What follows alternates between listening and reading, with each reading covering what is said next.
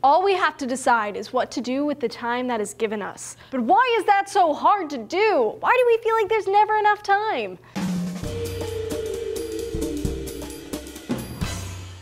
Hey procrastinators, Julia here for D News. Have you ever wondered why you will happily do nothing on a beach for a few hours on end, but won't wait in line for just a few minutes? Well, science is on the case. Two recent papers published in the Journal of Consumer Research looked into how we experience time. One paper identified factors that make consumers experience time in wonky ways. The researchers examined five elements that need to be in tune. Technology, consumer skill, their plans and moods, rules and regulations, and cultural understanding need to all align to make time pass at just the right speed. To look at real-world examples of this when the elements are in tune, the researchers studied athletes of extreme sports like free skiing. Skiers aren't impatient waiting for the next jump, they understand that it's all part of the experience and use that time to their advantage, where most of us get impatient in line at the post office. Social decorum makes us wait. Yet we are already thinking of what else we have to do. Those five elements are out of alignment for us, and time seems to drag on. Speaking of thinking of all the stuff we have to do can also make us feel the strain of time.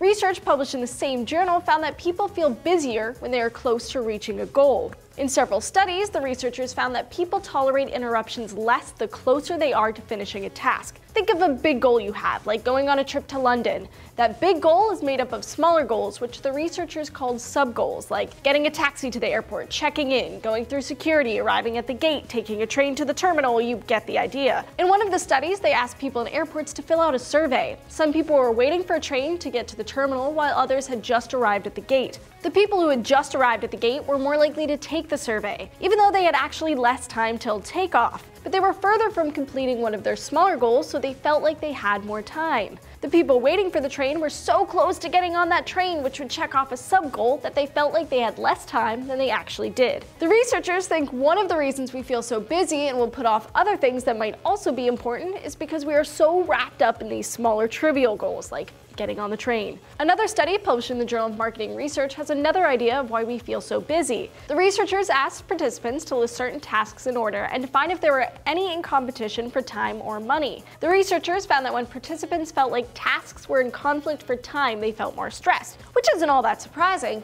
But they also found that even when tasks didn't compete for time, but competed for things like money or emotional resources, people were just as anxious, and that made them feel pressed for time. They call this a false sense of anxiety, that it's all about perception.